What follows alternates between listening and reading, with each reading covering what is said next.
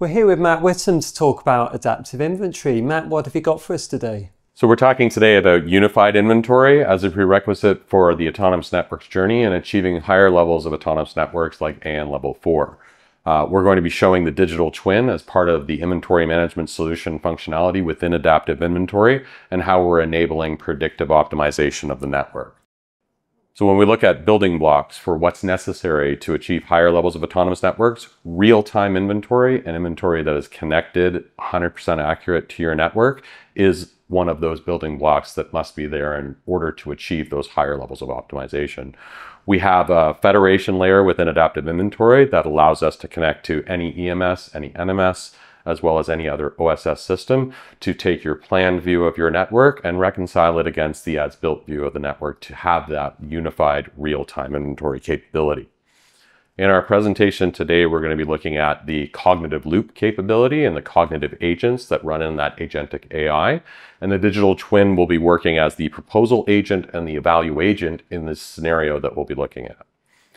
So if we imagine ourselves as a planning engineer, and a planning engineer's job is obviously to look at issues that have been identified in the network and things that they need to action and or resolve. And when we talk about the autonomous networks journey, we're really talking about achieving and crossing that chasm between human-led machine-assisted processes to machine-led human-assisted processes. So if we look at our cognitive loop dashboard within our uh, cognitive loop ecosystem, we'll see that there has been agents that have collected FM and PM events, and we've identified an area of the network that requires some review. So when we look at that particular area, we'll see a collection of FM or fault management and performance management events that indicate that there's a problem. What we'll do is we'll launch Adaptive Inventory's digital twin, and we'll look at the results of the uh, predictive agent and what it has identified as potential resolutions already in the background that have been executed in the digital twin as a scenario. So we have several options that have been identified in terms of providing relief for the congestion and the problems on the network. One of those, of course, is to scale the access network function or the RAN function. Uh, it will add a radio to the network and then measure the increased capacity.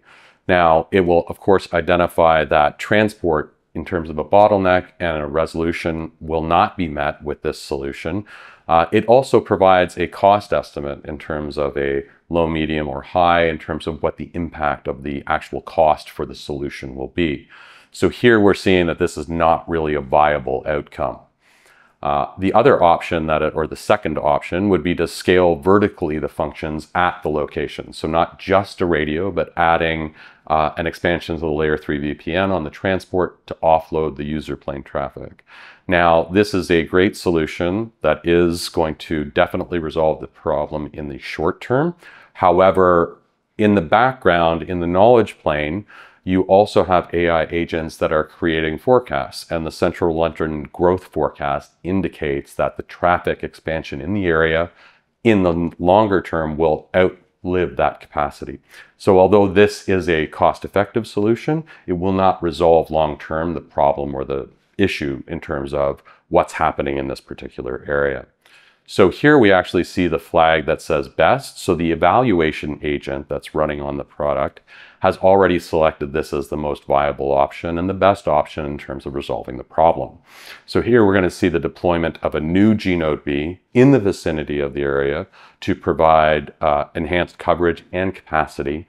We're going to see that we need to larger we need to have a larger expansion of the donor cell's transport to offload that user plane traffic. And we need to a microwave link from the donor cell to the actual new cell that we're going to deploy. And of course, in the scenario analysis from the digital twin, we see that the growth forecast, this solution itself will provide enough capacity to outlive that forecast for 30 plus months. Now, of course, this option is an expensive option from a CapEx and an OpEx perspective because it will be a much larger increase on the network. However, we are waiting at this point those agentic AIs that are running in the background, they're waiting for a human to say, what selection should we do? So that planning engineer's role here is not to do the analysis and do the design and run the scenarios and figure out what's best to do.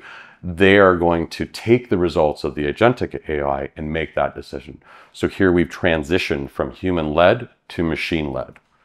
So what we can do is then proceed and the agentic AI has already identified the work orders that need to be created and run through the system uh, in order to then execute this change.